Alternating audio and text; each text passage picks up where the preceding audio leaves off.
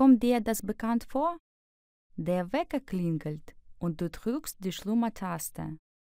Nach zehn Minuten klingelt er wieder und du drückst sie erneut, bis du irgendwann feststellst, dass es schon viel zu spät ist. Тебе это знакомо? Звонит будильник, и ты нажимаешь на кнопку. Через 10 минут он звонит по-новому, и ты нажимаешь снова и снова. И так до тех пор, пока уже не будет слишком поздно, и ты наконец-таки не проснешься. Du läufst ins Bad, ты бежишь в ванну, ziehst an, was gerade greifbar ist, одеваешь, что есть под руками, schluckst hastig den Kaffee runter, в торопях глотаешь кофе, und rennst zur Haustür и бежишь к двери. Auf dem Weg zur Arbeit ärgerst du dich über jede rote Ampel oder verpasst den Bus und kommst zu spät. По дороге на работу злишься на каждый красный свет или опаздываешь на автобус и приходишь поздно. Also, der Tag zieht sich wie Kaugummi. Итак, день тянется как резина. Doch das Schlimmste ist, obwohl du es besser weißt, machst du es am nächsten Tag genauso. И все же наихудшим является то, что, несмотря на все это, ты знаешь, как нужно сделать лучше. Но на следующий день ты поступаешь точно так же. Hier ist ein Tipp für euch. Вот вам совет. Beginnen Sie Ihren Tag richtig. Die erste Stunde ist die wichtigste des Tages. Начинайте день правильно. Первый час – самый важный час дня. Wie wir den Tag beginnen, bestimmt unsere Leistungsfähigkeit, unsere Produktivität und wie stressig wir den Tag erleben. От того, как мы начинаем день, зависит наша производительность, продуктивность и то, насколько спокойно мы проживем день. Was machen wir am Morgen? Что мы делаем по утрам? Morgengymnastik machen. Sich waschen oder sich duschen.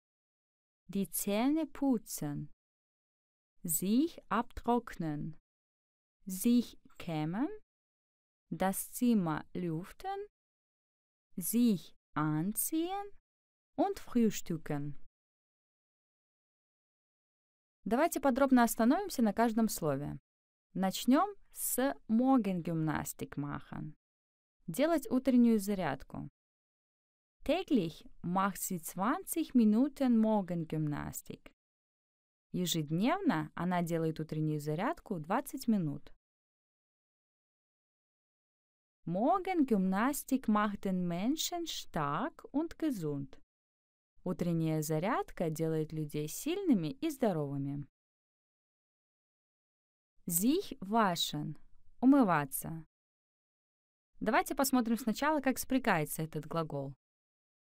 Ich wasche, du wäschst, er sie es wäscht, wir waschen, er wascht, sie sie waschen. Во втором и третьем лице единственного числа корневая гласная «а» меняется на «э», во второй колонке у нас находится возвратное местоимение «зи» в дательном падеже. Mir, dir, sich, uns, euch, sie. А в третьей колонке также возвратное местоимение «зи», но уже в винительном падеже. Mich, dich, sich, uns, euch, sich. Обратите внимание, что форма sich разная только в первом и втором лице единственного числа, а в остальных формах она в дательном и винительном падеже совпадает. Ich wasche mich. Я умываюсь. В этом примере после глагола waschen использован аккузатив, винительный падеж.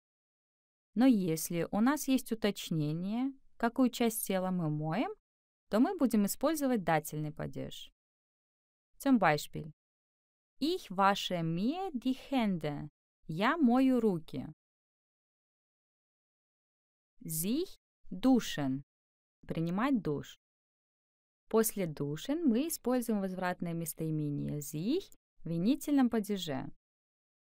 Ich dusche mich, du duschst dich, er sie es duscht sich, wir duschen uns, ihr duscht euch, sie sie duschen sich.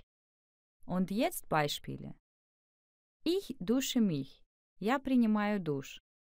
Er duscht 10 Minuten. Он принимает душ 10 минут. Die Zähne putzen. Чистить зубы. После die Zähne putzen мы используем возвратное местоимение sich в дательном падеже.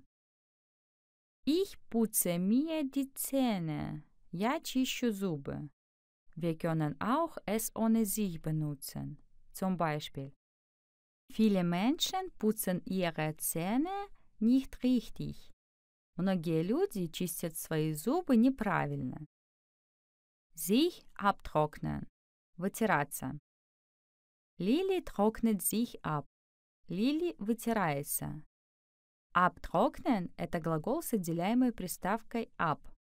Это значит, что приставку мы будем ставить в конце предложения, а сам глагол у нас будет стоять на втором месте. Wo kann ich mir die Hände abtrocknen?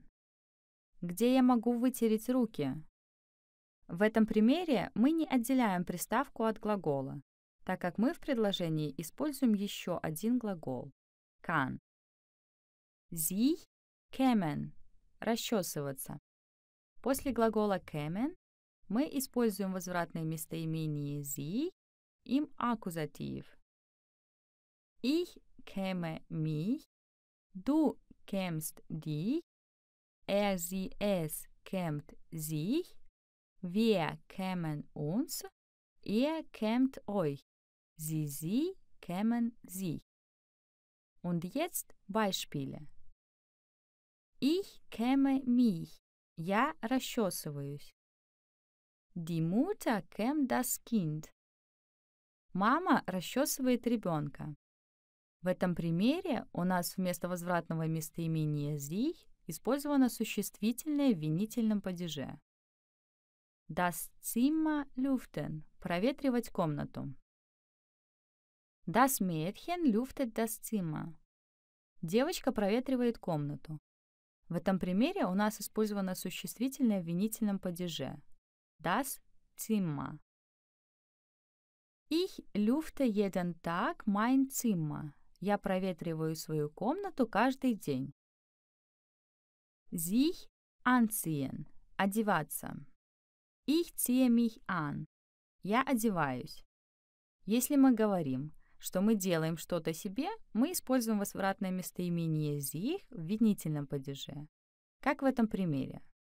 Возвратное местоимение sich в винительном падеже имеет форму mich. Если у нас есть уточнение, что мы одеваем, мы используем датив, дательный падеж. Zum Beispiel. Du ziehst dir die Hose an. Ты одеваешь брюки. Hier sich steht im Dativ. Frühstücken. Завтракать. Ich frühstücke am liebsten Müsli mit Milch. Больше всего на завтрак я люблю есть хлопья с молоком. Morgens frühstückt mein Vater nicht. По утрам мой папа не завтракает. Und jetzt noch einmal kurz. Was machen wir am Morgen? Morgen Gymnastik machen. Sich waschen. Sich duschen. Die Zähne putzen.